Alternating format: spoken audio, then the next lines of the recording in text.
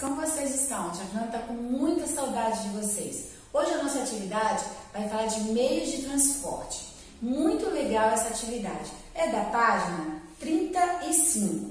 Olha só. Agora imagine você e seus amigos em um meio de transporte. Aqui nós temos vários meios de transporte.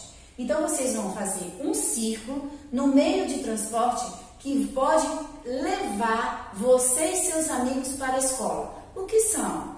O ônibus, é, a carroça, o carro, a bicicleta, a moto, o avião ou o navio. Vocês vão olhar e vão ver como que vai caber todo mundo dentro do meio de transporte para ir para a escola. Agora nós vamos fazer a atividade da página 37. Olha só que legal. Vocês vão pegar esse materialzinho aqui, ó, lá no finalzinho do livro vão recortar o meio de transporte e vão colar aqui nesse espaço.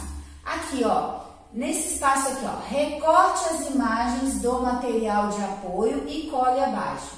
Será que o navio pode ficar aqui, olha, nessa estrada? Pode? Não, né? Será que o caminhão pode ficar nas nuvens? Não, vocês vão conversar com o papai e com a mamãe e eles vão ajudar vocês a recortar e a colar essa, essas figuras aqui nessa atividade. Faça bem bonito, cuidado com a tesoura, faça uma fotinha e manda para tia Fernanda. Beijos!